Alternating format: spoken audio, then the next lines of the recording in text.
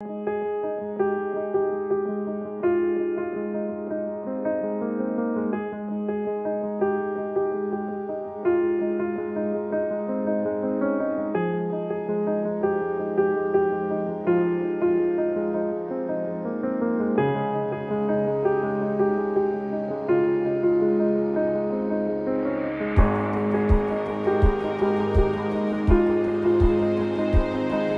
मेहताब जी का आर्ट देखकर उनका ये डॉट्स वाला काम देखकर हमें ऐसे लगा कि ये वननेस है।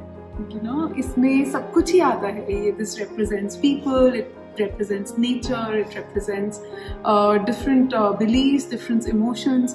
Uh, ये देखकर ना वो जो हम वननेस का मैसेज देना चाह रहे हैं ऐसे लग रहा है उन्होंने अपने आर्ट में वो सब कुछ समझा दिया।